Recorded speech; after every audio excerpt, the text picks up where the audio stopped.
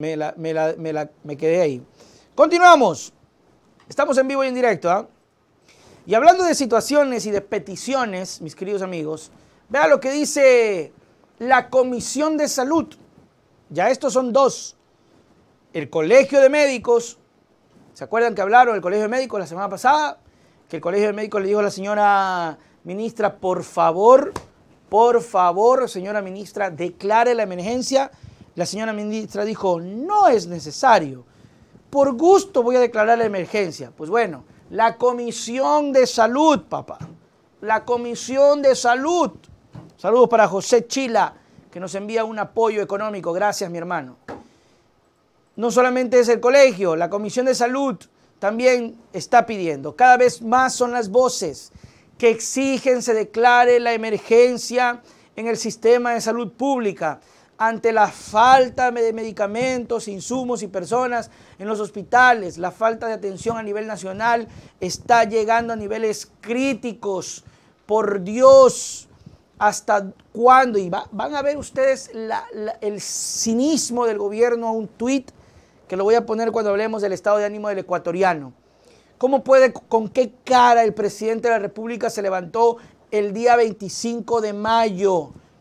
¿Con qué cara entró a Carondelet el presidente Guillermo Lazo el 25 de mayo, cuando habló el 24 y e, enumeró los problemas y dijo, vamos, vamos, ya estamos, conversaremos, compraremos. Cinco días y siguen los problemas de falta de medicamento, insumos, etcétera, etcétera, etcétera. Que el plan de externalización no, no me gusta, pero hágalo, hágalo. No lo hacen que no hay todavía las farmacias privadas, no, están, no se están abastecidas. Todavía, y ahora ya la, Comisión de Salud ya no, ya no aguanta más. El presidente de esta mesa, Marcos Molina, indicó que el gobierno nacional no ha dado una respuesta sobre la crisis que atraviesa el sistema de salud ecuatoriano e informó que ya han solicitado la comparecencia de la ministra y del presidente del directorio del IES. ¿Ok? Sin embargo, dijo Molina, este llamado aún está pendiente y se ha dificultado por las faltas de sesiones debido a la crisis que también atraviesa la Asamblea. La Asamblea no puede reunirse porque todos los asambleístas le están diciendo al presidente Lazo, saque a Yori. Todos le dicen, saque a Yori. Y el presidente dice, pues no me interesa que Yori siga. Yo la apoyo. No hay sesiones, no hay reuniones, no trabaja la asamblea y el presidente dice, vamos a seguir apoyando a Yori. Ya no podemos aguantar esta crisis, no podemos aguantar las mentiras de la ministra que todo está bien, enfatizó el presidente de la comisión. Asimismo, el legislador no descartó iniciar un trámite de juicio político en contra de las autoridades responsables del sistema sanitario. He ahí otra de las respuestas del por qué el presidente Lazo quiere a Yori en el puesto. Porque no pueden hacer juicio político. Porque si hay un trámite de juicio político, la señora Yori se encarga de, trabarlo porque es la que controla el tema de las, de las sesiones en el CAL. Entonces, el presidente Lazo tiene ministros que no saben qué hacer y encima la Asamblea no puede fiscalizar porque tiene una presidenta que protege a esos ministros del gobierno de Lazo. Qué bonito. El llamado a declarar la emergencia en el sector de, la salud se suma al malestar que tienen el gremio de colegios de Pichincha, el Colegio de Enfermeros y Enfermeras del Guayas y más representantes de la salud, quienes denuncian la falta de insumos, de insumos, falta de personal, falta de medicinas, etcétera, etcétera, etcétera.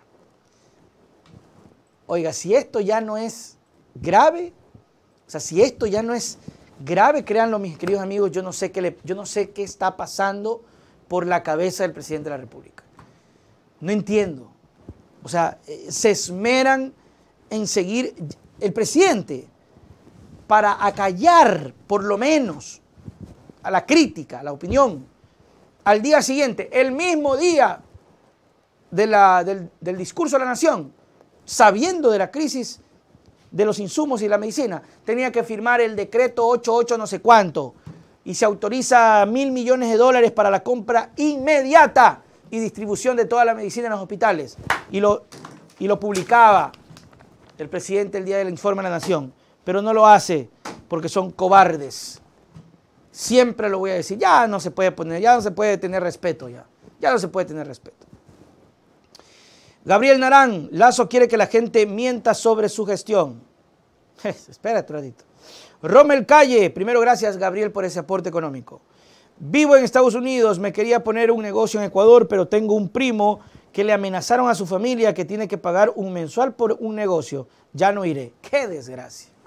Y, y ojo, mi querido pana, tú eres inversión extranjera. O sea, sí. O sea, claro, yo sé que eres ecuatoriano, pero tienes la intención de traer un capital, invertir acá, porque dices, ok, voy a invertir, ¿por qué no? ¿Verdad?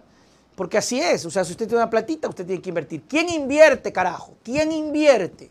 En un lugar donde, donde te amenazan. Ahí está la respuesta. Espérate que lo complementamos con lo que viene. Saludos para Rommel Calle y terrible lo que pasa con eso, mis queridos amigos. Y ya vamos al, al dato de la encuesta.